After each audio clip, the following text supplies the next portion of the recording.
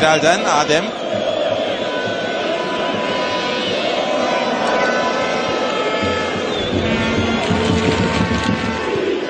Uğur ara pası.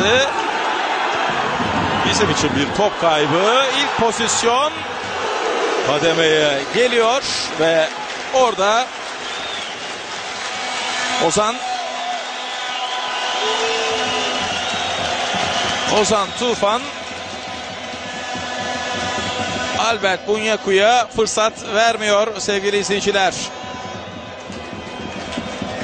Mustafa Pekdemek o topu hareketlendi.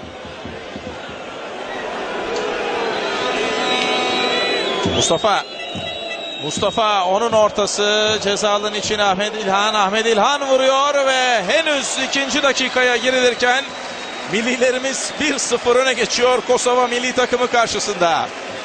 Milli takımımızın formasını giymiş Kosovalılar. Kendi ülke takımlarıyla birlikte sert bir vuruş ve top ağlara gidiyor. Bilal uzaktan kaleyi yokluyor.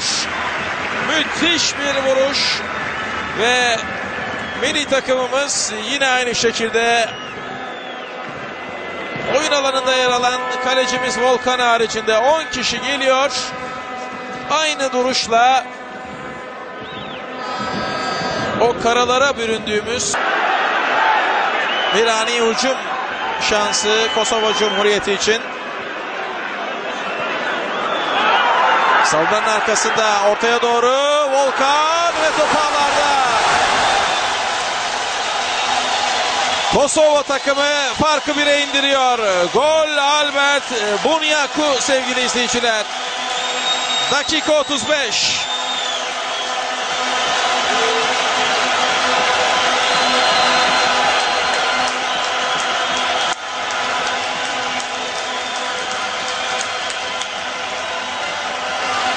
İşte Mitrovica Adem Yaşar istadında 17.500.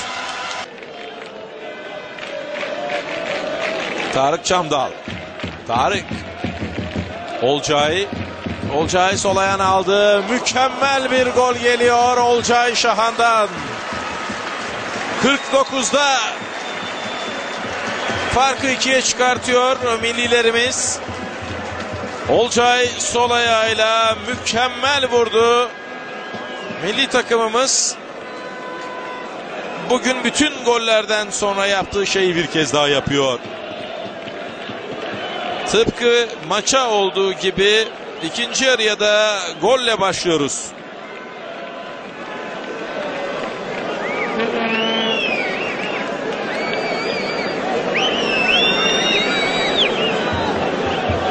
İşte gol. Olcay.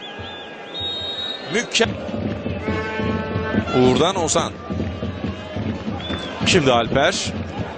Alper'in pası hareketinden Ahmet İlhan var. Ahmet İlhan, Ahmet İlhan çok hızlı. Onun ortaya çevirdiği top. Alper vuruyor kaleci. Bir vuruş daha top ağlarda. Mustafa Pekdebek. Mustafa ile oyunda.